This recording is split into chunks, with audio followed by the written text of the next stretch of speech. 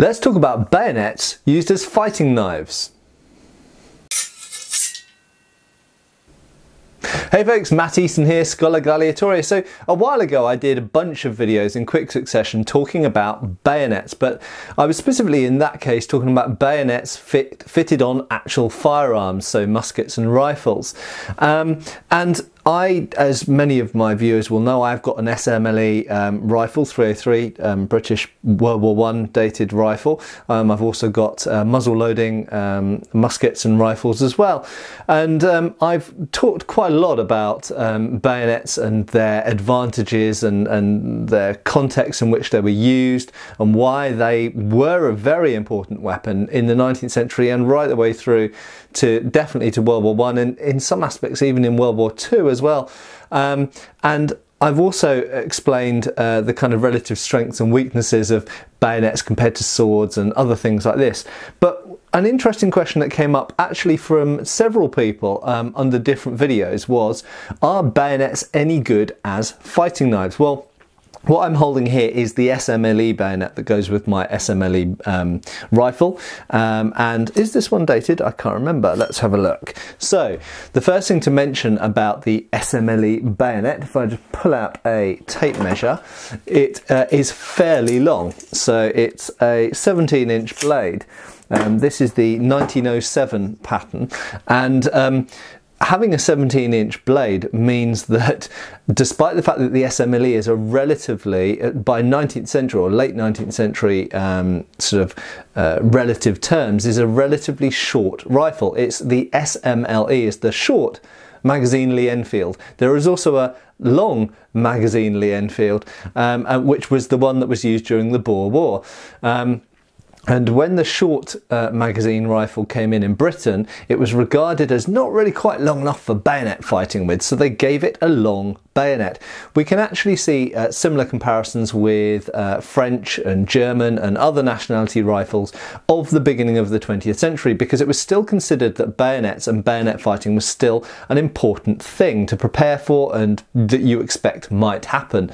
Um, not necessarily in um, open sort of warfare, in for example, in the Franco-Prussian War, where most of the fighting was done in large open spaces and uh, was really um, governed by long-range rifle fire and artillery.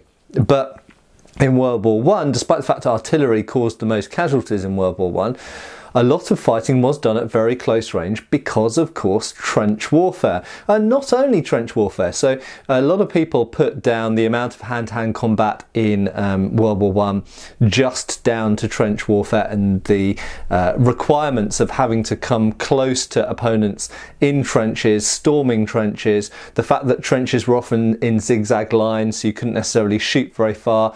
You couldn't necessarily, therefore, shoot at someone before they were in hand to hand combat range.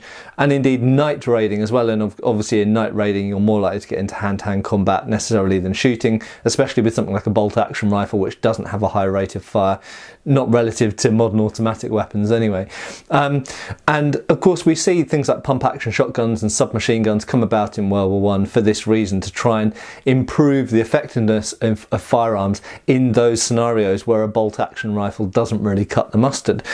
But um, a lot of people put down the use of um, the use of bayonets and other hand-to-hand weapons, cavalry swords and lances, for example, which were also still used in World War One, uh, to trench warfare. But there are other reasons for it as well. We actually see um, when trench, when the trench warfare stage was kind of passing out in kind of 1918 at the end of the war, we actually start to see large um, sort of use of cavalry again, and cavalry to pursue fleeing enemies, uh, to attack uh, baggage um, trains and artillery emplacements and things like this, machine gun nests and that kind of stuff. Um, but additionally, people often forget about the fact that it was a world war. It wasn't only a war that was happening in Belgium, um, it was a war that was also happening, for example, in the Middle East and North Africa. And it actually, if we look at the uh, combat, for example, uh, Gallipoli, um, and if we look at the combat with the Turks uh, between the um, the Arab army, the Arab Revolt army under Lawrence of Arabia, but if we look at other conflicts within that war, we also see hand-to-hand combat with swords and, like I say, with swords and lances and knives and bayonets. Now, coming back to the actual question. Um, predominantly when we talk about bayonets we're considering it being fixed on the end of a rifle but there are situations where for various reasons you might decide to use your bayonet not on the end of the rifle. What might that situation be? Well, quite simply, it could be um, on a night raid into a trench. So one of the things um, with, if we look at British, French, um, German uh, bayonets on rifles, you've still got a fairly long object, which if you're fighting someone in hand-to-hand -hand combat in an open space or even in a large room, a large building, then essentially it's a short spear and that's a short heavy spear and that's a useful thing against someone who's got something like a knife or a sword because you can outreach them. However, if you're jumping into trenches, as everybody I should imagine watching this channel knows, we see the use of things like trench knives, knuckle dusters, um, small axes, hatchets, um, clubs, maces, even flails um, in World War One trench raiding. And the reason for that is the nature of the fighting. Often it was incredibly close range, essentially punching and kicking and wrestling range. And in those situations, a long bayonet on a rifle is actually you might get one good stab at someone, but then someone else might attack you from here and you can't bring your weapon around to bear on them and fight against them. So in these kind of situations, we know for a fact that sometimes both um, private soldiers and um, officers sometimes elected to use weapons that were specifically shorter. Now, some of you might uh, immediately think, Matt, were swords ever used? Well, yes, they were. Um, officer swords and other types of swords, certain types of um, cutlass, for example, and, and, and indeed large bayonets and things like machetes and stuff were indeed used in hand-to-hand combat. However, it seems that most soldiers preferred um, either the most common, I would say, as far as I can tell, in trench fighting, the most common close combat weapons were number one, percussion weapons, percussive weapons such as clubs uh, and shovels and things like this. And on the other hand, um, things like small fighting knives. Um, now I'll probably do another, in fact I'll certainly do another video talking about um, World War One fighting knives at some point because there's lots of interesting things to say about those. But again, coming back to the question, could you use a bayonet as a fighting knife? Yes, the, absolute the absolute answer categorically is yes, you could. Would it make a good fighting knife? Well, not bad, yeah. The funny thing is, is that um, many people will kind of on my channel i'm famous for going kind of longer is better okay and um, generally speaking in most hand-to-hand combat situations a longer weapon it does give you an advantage over someone with a shorter weapon. But as I've just explained, in nighttime trench raiding, that's not always the situation. If you're really at punching kicking distance, sometimes an overly long bayonet might be easier for an opponent to block or grab or grapple with or disarm you. Uh, it might be more difficult to get the point to bear.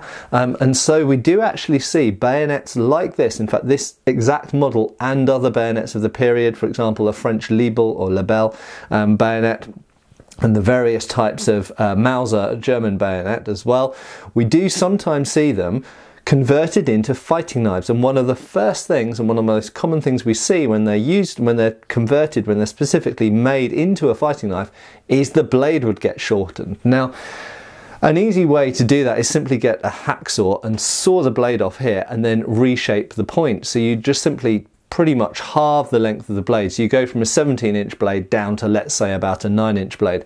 And it's interesting because in my own experimentations with, if I just grab a Bowie knife for example, I've found that in sparring with simulator Bowie knives, um, that um, yes, whilst a large one can be used kind of like a small sword, there is a kind of, I think there's kind of an optimum size for fighting knives um, that for me personally tends to be about 9 or 10 inches. And that's about as big as they can comfortably be worn and carried and deployed, unsheathed quickly, and indeed used in close combat.